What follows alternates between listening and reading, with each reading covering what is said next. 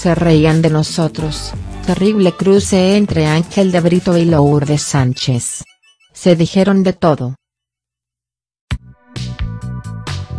Ya arrancó el bailando por un sueño y, como siempre sucede, ya comenzaron los cruces entre los jurados, entre los jurados y los participantes, y entre los participantes y el propio conductor, demostrando que, como decía una famosa novela, que todo cambie para que nada cambie.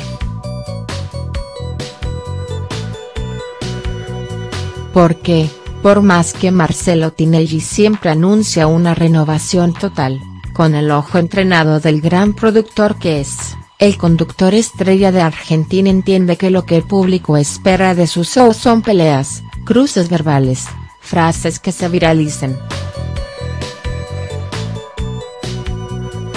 Y, por supuesto, en la primera entrega hubo muchas de estas situaciones porque Ángel de Brito destrozó a Lourdes Sánchez y sus dos compañeros, encargados de manejar el bar, es decir, el mecanismo que permite ver, muy de cerca, las performances de los bailarines.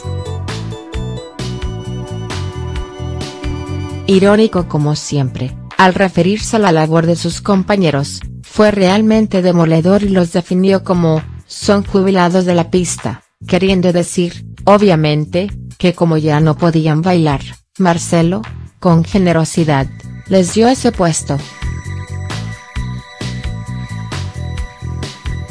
El rostro de los tres, obviamente, mostró su enojo al ver esa lapidaria frase que hizo reír mucho a todo el mundo. Y lo mejor fue el reencuentro de Lourdes y Ángel hoy luego de la picante noche que vivieron ayer.